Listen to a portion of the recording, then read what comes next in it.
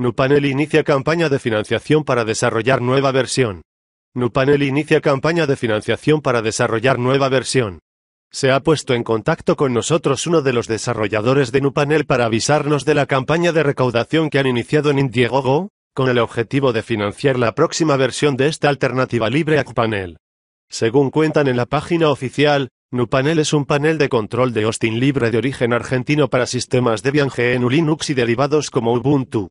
Su primera versión data de 2005, pero diversos problemas hicieron que su principal desarrollador dejase el proyecto aparcado hasta 2012, cuando lo retomó.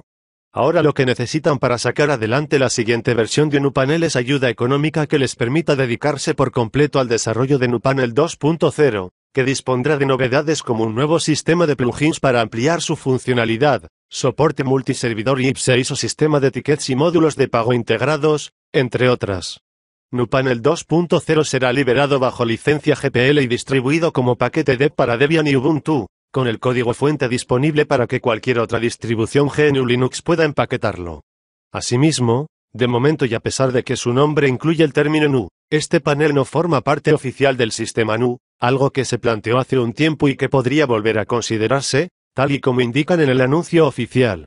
La campaña de NuPanel en Indiegogo aspira a reunir 25 mil dólares antes de su fin, al igual que la de Ubuntu Edge, es de todo o nada, por lo que os animamos a contribuir con lo que podáis a ver si consiguen alcanzar su meta.